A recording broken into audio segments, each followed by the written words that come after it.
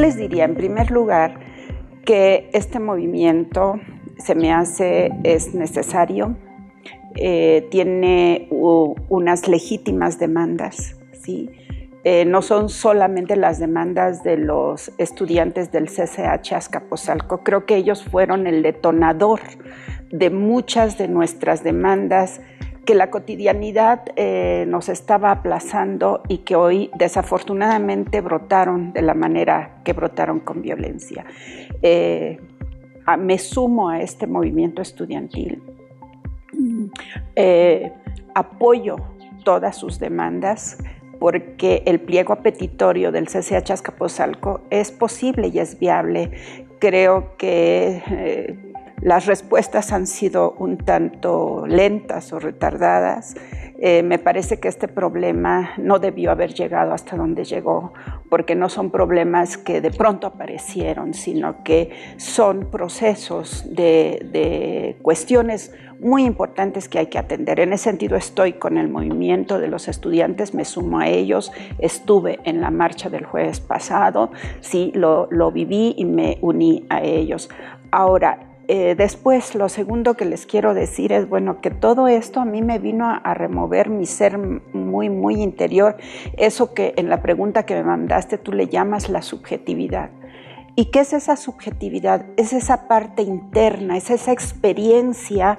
Y la experiencia no solamente son las acciones que hacemos todos los días, sino es eh, las acciones, las vivencias se convierten en experiencias cuando está mediando la reflexión, el análisis fundamentado, informado para tomar decisiones sobre las acciones que debemos seguir, ¿verdad?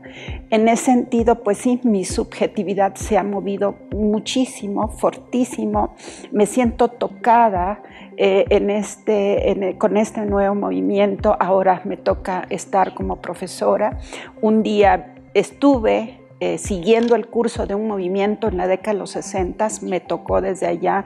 Por eso me gusta esta metáfora que haces de los eh, abuelos, los hijos, los hermanos y los nietos, este, como rezaba una pancarta de un sobreviviente del 68 durante la marcha que lo vi. Y, bueno, sí me, me ha movido. Y de la experiencia de todo esto, ¿qué les puedo decir?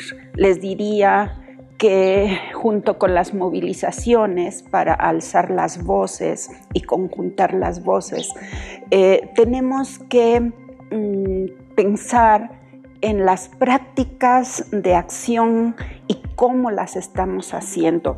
Lo que he podido observar desde la realización de las asambleas de los estudiantes y, también he estado acudiendo a las asambleas de los profesores, pero en las estudiantes particularmente, y esto es lo que les quisiera eh, decir, compartir, saber ellos cómo lo toman nuestros actuales estudiantes en el movimiento, a esta generación, es que el asumir acuerdos, el llegar a acuerdos para la acción, eh, implican mucha reflexión y mucho análisis. ¿sí?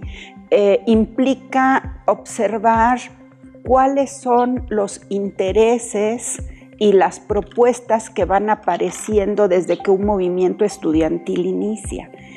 Y muchas veces hay mucho movimiento en esas propuestas.